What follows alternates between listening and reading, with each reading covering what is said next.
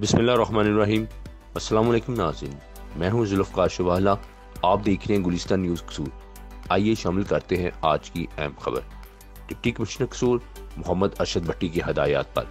Assistant commissioner कसूर रजवान हलाकपुरी का। सब्ज़ी व फ्रूट मंडी का अचानक दौरा। फल व सब्जियों की कीमतों, मैार और बोली के अमल का जायजा लिया। असिस्टेंट कमिश्नर कसूर ने सब्ज़ी व फल मंडी में सफ़ाई सुथराई और अमले की हाजिरी को भी चेक किया। उन्होंने अपनी निगरानी में मुख्तलिफ़ फलों और सब्जियों की बोली करवाई। असिस्टेंट कमिश्नर कसूर ने कहा कि शहरीों के लिए सस्ती और मैारी सब्ज़ी व फ्रूट की फरहमी के लिए बोली के अमल को सख्ती से मॉनिटर किया जा रहा है। शहरी खरीदारी के वक्त सरकारी रेट से ज़ाहिर अदायगी हरगिज ना करें।